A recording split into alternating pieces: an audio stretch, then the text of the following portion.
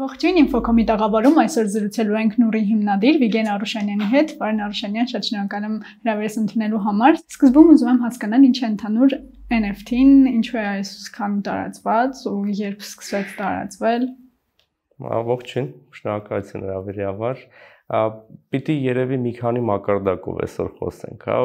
NFT-ն հասկանալու համար պիտի հասկանաս դրա տակ ինչ է, ինչու է ինքը տարբեր սովորական նկարներից, Հենց որ երևի դուք հարցնեք որտեղից ամենաներքևից սկսենք, մեջտեղից սկսենք։ Եկեք ամենաներքևից սկսենք։ Ոնց եկավ։ Ես գիտեմ, որ 2015 թվականին էինք սկսվել, բայց այս վերջին մի տարում արդեն նոր հայփը դարձել, հա, նոր սկսում է տարածվել, մարդիկ արդեն գնում են, կոլեկցիաներ են հավաքում։ Ընդհանրապես ինչի համար են մարդիկ այդքան գումարներ ծախսում, որպեսզի գնեն նկարներ, ինչ որ երաժշտություն եւ այլն։ Շատ լավ։ Իրականում, եթե խոսենք 15 թվականից չի, 17-ից առաջին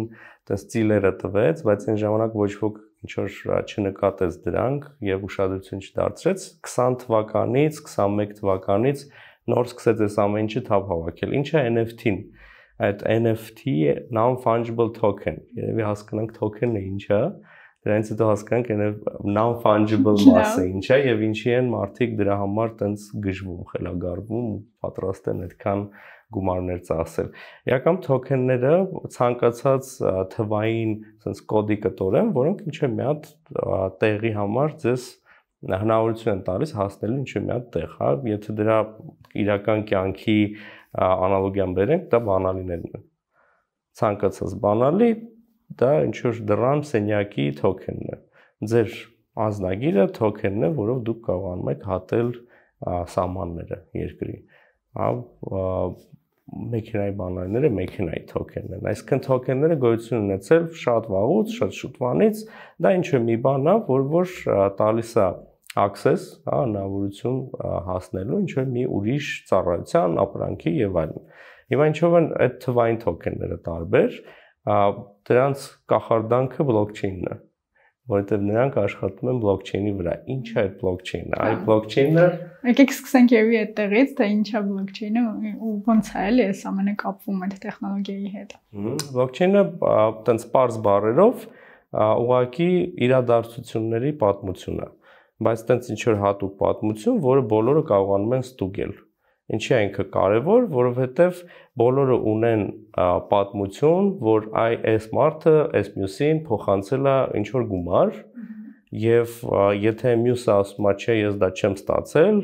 ընդհանուր բոլորով հավաքվում են, ասում են ոնց բա մեզ մոտ գրված է, մենք տեսել ենք, որ դու ստացել ես հա սա ինչի համար արվում շատ པարզ մի բանի համար տեսեք այն ժամանակվանից երբ որ համակարգիչները եկան ու տարածվեցին, մարդիկ ասցին, բայց ի՞նչ լավ կլիներ, որ փողը ոչ թե sense թղթադրամներով ինչ որ կամ առաջ կար sense գրասում էին թղթերի վրա, հա, դրանք ledger են կոչվում ինչ հարմար կլիներ, եթե այդ մեխանիկական բարդ գործը եւ ֆիզիկական ինչ որ թղթադրամները բերեինք համակարգչային դաշտ Որտեղ համակարգիչը ինչ է, ինքը ուղակի մեծ կալկուլատոր է, որը հաշվում է, ինքը թվերի հետ լավ է։ Մի հատ խնդրեմ կա։ Երբ որ համակարգիչում կարողանում եք sense աճ քլիկ անել, կոպի անել, հետո նորից փաստ անել։ Փորձել եք, չէ՞։ Ահա։ Ցանկացած ֆայլ, աուդիո, վիդեո, ինչ որ նկարներ կարողանում եք այդպես անել։ Հիմա խնդիրը նրանում է, որ երբ որ փողը բերում ես համակարգչային աշխարհ, ինքն էլ է ներկայացված ինչ որ մի ֆայլի տեսքով Հիմա եթե աչ կլիկ կոպի անես, նորից փաստ անես, ստացվում է երկու անգամ ավել փող ունեցար։ Ու սա լուրջ խնդիր էր, որը որ պիտի լուծվեր։ Ինչ ոնց է դա լուծվում, այդ մնացած մարդկանց միջոցով, որոնք բոլորը հետևում են այդ իրադարձությունների պատմությանը։ Այսինքն եթե գործարքա լինում, բոլորը տեսնում են։ Գործարքա լինում, բոլորը տեսնում են։ Այսինքն եթե դու փորձես copy paste անել, քո փողը փորձել կրկնապատկել, բոլորը կասեն, բայց մեզ մոտ ոնց որ գրված է, որ դու չունեիր այդ փողը որտեղից քեզ դա եւ դա չի աշխատում այդ այդ այնա ինչ որ անում են օրինակ բանկերը բայց հիմա բանկերին արանքից հանում ես ասում ես բոլորը բանկ են բոլորը իրար տեսնում են բոլորը պատասխանատու են իրենց փողի համար եւ բլոկչեյնը իրական դրա համար ստեղծվեց հա ապահովելու թվային փողի չկրկնօրինակվելը Ինչի՞ է դա կարևոր, որովհետև դուք հաստատ պատրաստ չեք ընդունել որպես փող ինչ-որ բան, որը կարաք ինքներդ ստեղծեք։ Դա։ Ինչ եք ինձ այնց ընդունում, դա թե կարաք copy paste անեք, չէ՞։ Այսինքն փողի համար շատ կարևոր է, որ ինքը լինի չկրկնօրինակվող, սակավաթիվ, դժվար հասանելի ու բլոկչեյնը ապահովում է հենց դա։ Հիմա, երբ որ մենք գալիս ենք այդ թվային դաշտ, այդտեղ ասում ենք, լավ, մի րոպե, համակարգիչները ոնց որ մի քիչ ավելի նույնիսկ լավ են հաշվելուց, այս հաշվելուց բացի ուրիշ բան էլ կարան անեն։ Իսկ ինչ կլինի, եթե ինչ որ ուրիշ ֆունկցիաներ էլ տանք այդ փողին։ Օրինակ, ամեն փողը ինչ որ հատուկ նշան ունենա, ոնց որ մեր առօրյա թղթադրամները ունեն վրան ինչ որ կոդ, սերիալ համար։ Ասում են, դե եկեք այս սերիալ համարը ինչ որ մի բան նշանակի։ Ինչ ասես կարա նշանակի, 17 թվականին օրինակ առաջին տենց մեծ աղմուկ հանած NFT պրոյեկտը CryptoKitty-ներն էին, նեղ թոքեններ էին, որոնք ունեն կատվի տեսքեր, տեսք։ Դա բլոկչեյնի վրա գրված խաղեր եւ ամեն կատուն իրականում փողի հատիկ է բայց մարդիկ կարողանում են այդ փողը իրար ուղարկել, ստանալ եւ խաղեր այդպիսի, որ երբ որ դու ունենում ես կատուներ, դու կարողանում ես այդ կատուներին բուծել, ավելի շատ կատուներ ունենալ, ինչ որ հետաքրքիր մի հատ ու շատ խորը մոդելով հետաքրքիր խաղեր մտածված։ Դրանից հետո եկավ արդեն նախորդ, այս նախքին կարելի ասել վերջին հայպը NFT-ների շուրջ, երբ որ ինչ որ մեկը ասեց Նա ոնց որ եկեք ամենապարզից սկսենք, էլի, հասկանալի է, որ այնտեղ ինչ ասես կարա լինի NFT-ի հետ կապված, որովհետև պատկերացրեք ինքը ուղակի այդ թղթադրամի վրա գրած սերիալ համարը ասես այս սերիալ համարը նշանակում է այսինչ մի բանը դա կարա ֆունկցիա նշանակի բայց ասեցին լավ པարզ ճանապարհով գնանք այսինչ սերիան կնշանակի ինչ որ մի տեսք այսինքն եկեք փողի հատիկներին ամեն թղթադրամի ընդհանրենք տանք հատուկ իր տեսքը Օրինակ իրական աշխարհում այդպես չի, իրական աշխարհում փողը պիտի ճանաչելի լինի ու բոլոր 1000 դրամները նույն դիզայնով են տպվում, որ մարդն էլ ճանաչի, հասկանա, որ դա իսկական է։ Հիմա այստեղ այդպիսի խնդիր չունենք, դա ճանաչվում է ավելի ներքևի մակարդակում տեխնոլոգիայի ման վրա, այսինքն տեսքը ինչ ասես կարա լինի։ Ու երբ որ այդ parse տեսքը սկսեցին դնել, ասեցին լավ, հիմա եկեք այս թոքենին, այս փողի հատիկին գցենք նկար։ Այդ նկարը մարդկանց մոտ sense տեղն ընկավ։ Ինչի, որովհետև նկարը པարզ ու հասկանալի է։ Նկարը մի բան է, որ մարդը տասնյակ հազարավոր տարիներ անում է ու դա իրան հասանելի է, հա, այն պայից, երբ որ ես սիրում եմ դա ասել, որ կրակից հետո սենց ածուխ հանեց պատին գսեց հասկացավ, որ հետքա թողնում, սկսեց նկարել, ու այդ նկարը թողնել հաջորդներին ու դրա համար դա մի բան էր, որ հա լավ հասկացանք, ախ, էս էր ձեր NFT-ն, ինչ որ բարդ այնտեղ կրիպտոկատուներ, իրար փոխանցել, բուծել, հա, այդ բարդ է, բայց չի չի հասկացվում ինչ որ լայն աուդիտորիայի կողմից էլի իսկ երբ որ դու տալիս ես parz ինչ որ բան այդտեղ սկսեց հետաքրքրությունը մեծանալ ու ինչով է դրա առավելությունը հիմա պատկերացրեք ոնց որ փողը չի կարելի կոպի անել նենց էլ նկարը չի կարելի մյուս կողմից սկսեցին նայել դրան այսինքն լավ ես ինչ որ բան եմ նկարել ու ես լավ նկարիչ եմ արտիստ եմ բայց խուսափում եմ նկարս դնել ինտերնետում, որովհետև գիտեմ, որ ինտերնետում բոլորը առանց ինձ հարցնելու ուղղակի գողանում են նկարս։ Save են անում, պահում են, տարածում են, հետո կորում է թե ով էր հեղինակը, ահա փաստորեն դա կարելի է սենց պաշտպանել նույն ձևով ինչ որ։ Այսինքն հեղինակային իրավունքների պաշտպանությունը լա է ստար գալիս։ Կարելի է այդպես ասել, չասենք, որ ինքը ուղիղ պաշտպանում է, բայց ինքը ապացույց է, որ թե ով է հեղինակը, ով է իսկական տերը, ով է ամեն դեպս առաջինը այդ նկարը գցել այդ փող իրավունքին։ Ապացույցը նույն ձևով է, ինչ որ ցանկացած այլ դեպքում։ Եթե ինչ-որ մեկը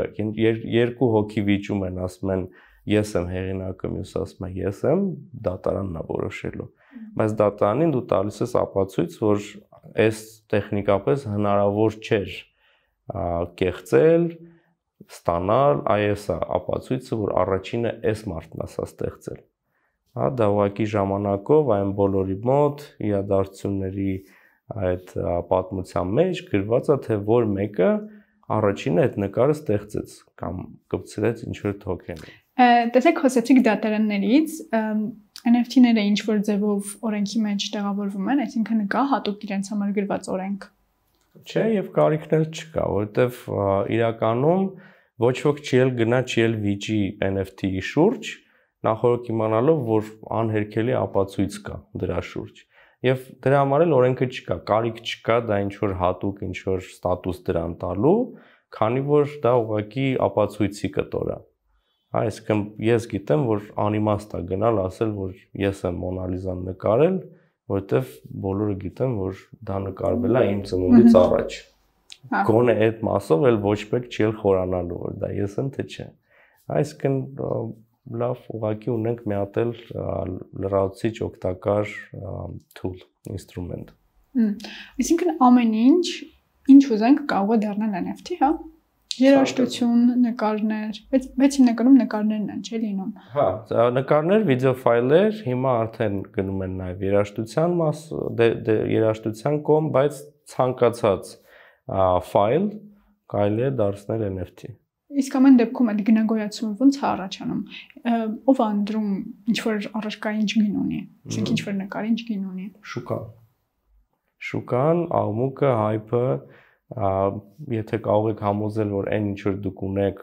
դա հաջորդ արվեստի գլուխ գործոցն է, բոլորը վազում են դրա հետևից, տալիս են միլիոնավոր դոլարներ։ Այսինքն հեղինակն ամեն դեպքում դնում գումարի չափը։ Հեղինակը փորձում է։ Հիմնականում այդ ամենաթանկ գործերը վաճառվում են աուկցիոնով։ Իհարկե դու կարող ես ասել, բայց այդպես չի կատարվում, որ ասես ես չէ բան նկարեցի, դա հասանելի դարձրեցի մնացածին բոլորը այդտեղ տեսան արժեք եւ դա գնահատեցին չէ դրա հետևում լուրջ աշխատանք է տարվում մարքեթինգային community հետ աշխատանքը, համայնքի հետ աշխատանքը, որpիսի դրա շուրջ ինչ որ սպասումներ ստեղծվեն, որովհետև վերջի վերջո այստեղ ավելի շատ ոչ թե արվեստի սիրահարներն են հավաքված, այլ այն մարդիկ են, ովքեր որ ուզում են փող աշխատել, ինվեստորներն են, որոնք չեն տա այդքան գումար, եթե չգիտեն, որ հաջորդ վաճառքից ավելի թանկ կլինի։ Իրենք գնում են ու վերավաճառում են։ Այո բայց այդ դեպքում եթե հեղինակային իրավունքները իրենց չի պատկանում իրենք կարող են ավելի թանկով վաճառել իհարկե հեղինակային իրավունքը այդտեղ կապ չունի ան իսկ հեղինակը ամենասկզբում ոնց ոնց է իր աշխատանքը կարողանում գնահատել ինչ արժի Դա շատ լավ հարց է, յակամ հեղինակը որտեղ է այստեղ տեղավորվում եւ ինչի է նաեւ այդ առումով NFT-ն տարբեր։ Հիմա երկու պատմություն պատկերացնենք, հա, նկարիչ, որը վերնիսաժում շատ հրաշալի նկար նկարել եւ վաճառել է, եւ ինչ որ մեկը դա գնում է եւ տանում է այս երկրից ուրիշ երկիր է տանում։ Հիմա ինչ եղավ այդ նկարի հետ, հիմա ում տանն է կախած, գուցե ինչ որ գալերեայում է կախած, ոչ ոք չգիտի։ Հիմնականում նկարիչները իրենց նկարների ճակատագրից տեղյակ չեն։ Այստեղ, քանի որ նկարիչը ինքն էլ կարա դառնա այդ իրադարձություններին հետևողը, ինքը միշտ տեսնում է իր նկարը ուրա գնացել Եվ այստեղ մի հատ կարևոր ֆունկցիա կա, որը որ կարող ես միանգամից, քանի որ մենք խոսում ենք թվային կոդի մասին, այնտեղ կարող ես ծրագրավորել, ինքը փող է, բայց ինքը խելացի փող է, որը նաև տեսք ունի։ Կարող ես ծրագրավորել, որ ամեն վաճառքից 10% պիտի հետ գնա հեղինակին։ Օ։ Եվ սա արդար է ստացվում, որովհետև փաստորեն եթե առաջին գնորդը ինչ որ մի բան տեսել էր այդ գործի մեջ, տաղանդներ նկատել, բայց այդտեղ մարքեթինգի կտորը պակասում էր, իսկն առաջին գնորդը վերցնում է դրա շուրջ կառուցում է այդ աղմուկը, որպեսզի բոլորը ուզենան այդ նկարը առնեն, ինչի հիման վրա է սարքում տաղանդի, բայց գումարում է իր աշխատանքը, չէ՞։ Հիմա երկրորդ գնորդը երբ որ առավ դա գնեց, եւ հեղինակն է ստանում ինչ որ մի կտոր royalty է ստանում եկամուտներից եւ ամեն հաջորդից հա եւ եւ արդեն առաջին գնորդը որ դա սարքել էր Այստեղ շատ լավ կարող է աշխատել, օրինակ, եթե ինչ-որ մեկ պատրաստի իր NFT-ին, իր ընկերը գնի, հետո ինքը հետ գնի, հետո մի հատ էլ ամեն, ամեն անգամ գին բարձրացնելով, հետո իրենք ավելի թանկով կարող են վաճառել։ Շատ շատ ամեն ինչ բիզնեսի է, էլի գալիս։ Հիմա հիմա ինչ որ դուք նկարագրեցիք բիզնես չէ, դա փողերի լվացում էր, որտեղ իրականում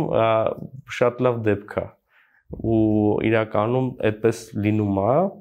եւ նույնիսկ մինչեւ NFT-ները արվեստի մեջ այդպիսի գործողություններ շատ են անում։ Համայնքը ինքը բավականին խորացած է թեմայի մեջ, այսինքն բոլորը համատում են, տեսնում են, ասում են ոնց որ այս այս երկու օկտատերերը իրարից շատ բան են առնում ծախում։ Սրանք ոնց որ կարելի է ամեն ինչ տեսնել։ Այո, դրա դրա համար ինքը շատ կարևոր է, որ բաց լինի, բայց այդտեղ այդ այդ ուղակի տենց առանձնահատկություններից է, որ կարող է եւ անեն։ Մի հատ ուրիշ ավելի པարզ բան ասեմ, դուք ունեք, չգիտեմ, 100.000 դոլար, այդ նույն օկտատիրոջ օրինակով ասենք։ Դուք ունեք 100.000, դուք սարքում եք NFT, MUS օկտատիրոջով։ Դուք վաճառում եք NFT-ն ինքներդ ձեզ։ Հիմա MUS դրամապանակում ունեք 100.000 դոլար, հանած, ասենք, փոխանցման ծախսերը, միջնորդավճարները։ Այստեղ ունեք ինչ է մի հատ token NFT, որը 100.000 արժի։ Ինչի՞ որտեղ վերջին վաճառքը այդքանով ա եղել։ Ինչ է մեկը որ ձեր հարստությունը գնահատի, ասի, «Ահա դու ունես 100.000 գումար, պլյուս ինչ որ մի բան, որը այդքան գնահատվել է»։ Կրկնապատկեցիր։ Լավ։ Հիմա եթե ես ուզում եմ ստեղծել NFT, ինչից սկսեմ։ Դե NFT-ները առաջին հերթին ստեղծող մարդկանց մասին են, այսինքն եթե դուք ինչ որ մի արվեստի մեջ եք, հաստատ արժի այդ ուղությամբ նայել։ Հա այդ այդ առումով գոնե պաշտպանելու համար, գոնե նոր դաշտ մտնելու, նոր շուկա գրավելու համար հաստատ արժի այդտեղ նայել։ Հիմա ենթադրենք դուք նկարիչ եք։ Ունեք ձեր նկարները, ինչ եք անում, գնում եք օրինակ OpenSea, OpenSea-ն ամենատարածված, ամենահայտնի NFT-ների վաճառքի պլատֆորմն է։ Այնտեղ բացում եք ձեր հաշիվը, գցում եք ձեր կրիպտո դրամապանակը, կրիպտովալետը։ Իսկ ամենասկզբում ինչքան մինիմալ ինչքան գումար պետք է ներդնեմ։ Պատրաստելու համար մեծ չի գումարը, այնտեղ մի քանի օրին մի քանի տարբերակ կա դա անելու, սկսած անվճարից կամ գրեթե անվճարից մինչև 30, 40, 50 դոլար դա կախված կախված թե ինչքան ծանրաբեռնված է լինում այդ պլատֆորմը։ Հա, այսինքն փոփոխվում է։ Այո, այո, ինչի է փոփոխվում, դա է շատ նման է, քանի որ այս ամեն ինչը չի սпасարկվում որոշակի ընկերությունների կողմից, այլ մարդիկ են սпасարկողը, եւ այդ մարդիկ քիչ են, երբ որ շատ ավելի շատ են օկտատերերը եւ ուզում են ինչ-որ փոխանցումներ անեն եւ այլն, բոլորը պիտի ստուգեն, չէ՞ այդ ստուգողները սկսում են ինչ որ դժվարությամբ ստուգել ու պիտի ընտրեն ինչա տեղի ունենում գները բարձրացնում են ոնց որ երեկոյան տաքսիի օրինակ սակագինն է բարձրանում այդ նույն ձևով այստեղ էլ սակագները ժամից կախված օրից իրադարձություններից որովհետև կարող է շատ մարդ է բան գալիս ուզում է այդ նույն բանը անի գները մի քիչ փոփոխական են, բայց հիմնականում մենք խոսում ենք այդ տենց 30-40 դոլարի մասին։ Բայց ամեն դեպքում լավ պետք է ուսումնասիրենք, չէ՞, որտեղից գտնենք աղբյուրներ, ում կարելի է հավատալ, չհավատալ։ Այդ այդ շատ լավ հարց է։ Եվ թեման շատ լայն է, իրականում երբ որ սկսում ես կարդալ, չես հասկանում, որ ուղղությամբ գնաս։ Կան դասընթացներ, Եթե առիթը բաց չթողնեմ, կնշեմ Նուրին, որը 17 թվականից հենց դրանով զբաղվում է, այսինքն համայնքը ձևավորելու համար հիմքը հասկանանք այս ամեն ինչի, ինչ է եւ ոնց է աշխատում, որովհետեւ այստեղ ով ինչ ինֆորմացիա ասես կարող է գրի եւ ինտերնետում հասանելի է ինչ ասես այս ամեն ինչի մասին։ Կեսից շատը Կեղծան չէ։ Ճիշտ չի համայն դեպս, հա, եւ ինչի է այտենց, որովհետեւ փողի հետ գործ ունենք։ Ամենասկզբում էլ խոսեցինք, որ այս նկարները, այդ կապիկների տեսքով նկարները իրականում համարեք փողի հատիկ փողի միավոր, որը հատուկ ինչ որ դիզայն ունի։ Եվ քանի որ մենք գործ ունենք փողի հետ եւ կանխիկ փողի հետ, որը որ դու կարող փողոցում մոռանաս, օրինակ դրա բանակը, ել տերը չես Այդ փողոցը հիմա ինտերնետն է։ Ձեր թոքեններն է ձեր կանխիկ փողն են, որը ձեր դրամապանակի մեջ է։ դուք մեծ է, որ գումար կկորցնենք։ Ինչի՞ է մեծ։ Եթե չգիտես ինչ ես անում, այո։ Այդ չգիտես օրինակ ոնց անել, ուր ուղարկել, քանի որ տեխնիկական կտորել կա, որը որ դեռ տենց լիարժեք սահուն չի աշխատում ամեն ինչը եւ դրա համար պետք է մարդը խորանա, որ հասկանա, որ ա ես այս տեսակի թոքենն եմ ուղարկում, ա այս տեսակինը մենակ այս հասցեին է ուղարկեմ, որտեղ եթե ուրիշ հասցեին ուղարկեմ, կորում է եւ կորմա այն անվերադարձ ոչ իմնա ոչ մեկիննա նես չի որ ինչ որ տեղ ուղարկեցի որ հետ կարամ ստանալ ուղակի կորմա ոչ ոքի ուղակի կորմա ոնց որ օրինակ ինչ որ մի հատ ֆայլ եք քաշել որը չի բացվում ձեր մոտ այդ տենց փչանում է այդ ֆայլը համարենք հա այսինքն այդ կտորը այդ փողը որը որ աշխատում էր ել չի աշխատում իրադարձությունների մեջ գրվեց որ ինքը չկա էլ Դրա համար պատասխանատվությունը իհարկե մեծ է, երբ որ փողի հետ գործ ունես, այստեղ մեծ է։ Եվ հավանականությունը սխալվելու եւ, չգիտեմ, հավանականությունը նրա, որ մարդիկ կուզենան դրա մեջ ինչ որ մի հատ մի բան կեղծեն, գտնեն, ինչ որ խարդախություններ անեն, շատ-շատ են։ Այդտեղ պիտի ուշադիր լինես, բայց եթե դու ուշադիր ես, դու գիտես ինչ ես անում, Մյուս կողմից էլ դա ամենապաշտպանված, ամենավստահելի համակարգն է։ Գումար աշխատելուց բացի, այս ամենը ոնց է ինչ որ չափի կոլեկցիոներների դաշտել լինի, որ մարդիկ ուղակի նկարներ, ինչ որ բաներ են գնում, հիմա կոլեկցիոներների թիվն է ավելի շատ, թե վաճառողների։ Երևի թե կասենք, որ իրարից չտարբերենք Հա, ավելի ճիշտ է ասել, որ թրեյդերներին, վաճառողներին, գնող վաճառողներին չտարբերենք այն մարդկանցից, ովքեր որ հավաքում են ամեն ինչ, որովհետև հավաքում են որոշները դա կոչվում են ժամանակակից արվեստ, բայց շատ սուբյեկտիվ է իրականում։ Իմ կարծիքով մենք գործ ունենք ոչ թե այս պահին համարային դեպս մեծամասամբ գործ ունենք ոչ թե արվեստի հետ, այլ հայփի հետ, աղմուկի հետ, եւ NFT-ները իմ կարծիքով շատ հարմար միջոց են ստատուս ցույց տալու։ Այդ նույն եթե ուզում եք հարցնում եք ինչի է ինչ որ մեկը այսքան միլիոն դոլարի կրիպտո տալիս ու առնում կապիկի նկար, նույն հարցն է ինչի ինչու են մարդիկ այդքան գումար տալիս առնում թանկարժեք ժամացույցեր, մեքենաներ, արվեստի գործեր, վինտաժային գինիներ, որոնք ոչ ոք չի տեսնում, ու ոչ ոք չի խմելու, բայց մարդիկ թանկ իրեր առնում են։ Ինչի են անում դա որտեվ դա ստատուս է տալիս։ Բացի այդ, այստեղ շատ սեփականության զգացում էլ կա, որ եթե օրինակ, չգիտեմ, ինչ որ նկար կամ թղթադրամը հա ունեմ բոլորը, այստեղ գալիս է ինչ որ բան, որից ունես մենակ դու, ու այդ քո սեփականն է, դրա երկրորդը էլ չկա։ Դա էքսկլյուզիվ է, օրիգինալը քոնն է եւ նորից գալիս ենք նրան, որ այդ էքսկլյուզիվ ինչ որ մի բան ունենալը ստատուսի հարց է։ Դու ունես մի բան, որը աշխարհում մենակ դու ունես։ Ինչի է դա կարևոր, որովհետեւ դու դրանով կարող ես քեզ լավ զգալ։ Հիմա երբ որ մենք իրերի մասին ենք խոսում, եթե դուք ունեք օրիգինալ Պիկասո ձեր տան հյուրասենյակում կախած, ձեր տուն եկողները մենակ գիտեն, որ դուք ունեք օրիգինալ Պիկասո մենակ ընկերները, չեմ, նեղ ինչ որ շրջանակի մոտ այդ ստատուսը ունեք։ Ստեղ հիշում եք այն իրադարձությունների ցուցակը, որը ամբողջ ինտերնետը կարող է տեսնի, ստուգի, հիմա փաստորեն մի քանի միլիարդ մարդ գիտի որ ձեր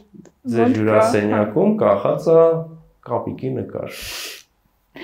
Լավ, հիմա ինչ հեռանկարներ ունի այս ամենը Հայաստանում ու ընդհանրապես աշխարհում? Շատ լավ է հարցնել ինչ ինչ հերանեկար է այս ամենի հետապնդում եւ Հայաստանն է տեղ ինչ դեր ունի իրականությունն է որ կապ չունի որտեղ ես ու այդ շատ լավ է արդեն արդեն լավ է որ կապ չունի սահմանափակում չի որևէ ձևով եթե դու Հայաստանից ես այսօր Հայաստանից էլ մարդիկ կան արտիստներ էլ կան առնող վաճառողներ էլ կան որոնք այս դաշտում գումար են վաստակում Եթե խոսենք կարճաժամկետի մասին, դա շարունակվելու է, այսինքն հա այդ աղմուկը անցնում է, հա այդ մարդիկ շատ սխալվում են, այդ սխալների վրա այլ մարդիկ սովորում են, բայց այդ գալու է հանգիստ ինչ որ մի դաշտ է դառնալու, որտեղ որ թվային արվեստը շարունակելու է ապրել եւ թվային արտիստները այդտեղ գումար են վաստակելու։ Դե հա իրականում շատ լավ հարթական նաև արտիստների համար, որովհետև եթե օրինակ իրենց աշխատանքները կամ երգերը չեն գնահատվում իրականում այդ ոլորտում իրենք շատ մեծ գումարներ են աշխատում։ Հիմա այդ գումարները ո՞նց կանխիկացնել։ Եթե անհրաժեշտություն են լինում։ Շատ լավ, իրականում այդ գումարը ինքնին գումար է։ Այսինքն խոսքը ուղակի նրա մասն է, թե ինչ տարադրամով ես ուզում այդ գումարը պահել Դու ուզում ես պահես Ether-ով, պահում ես Ether-ով, ուզում ես դարձնես դոլար, գնում ես exchange եւ փոխանակում ես, հա, փոխանակման կետ, բայց on-line փոխանակման կետ։ Գնում ես, փոխանակում ես, ստանում ես դոլար, դրամ քո հաշվին։ Եթե կարիքը կա դրա։ Շատ լավ, շատ շնորհակալ եմ զրույցի համար։ Ես եմ շնորհակալ։ Հիշեցնեմ, որ մեզ կարող եք հետևել Telegram-ում, YouTube-ում, Facebook-ում եւ info.com am կայքում։